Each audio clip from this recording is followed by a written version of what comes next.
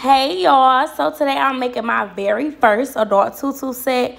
And when I tell y'all this set was some work, I did layers on top of layers on top of layers. Like literally sewing for hours. Now I'm just putting all the layers on the elastic band.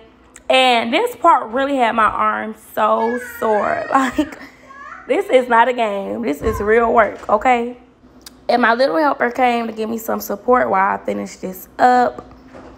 Because as I stated, y'all know these videos are fast forwarded. This took some time, okay? But anyways, after I got all the fabric on the waistband, of course, I went ahead and sewed it together.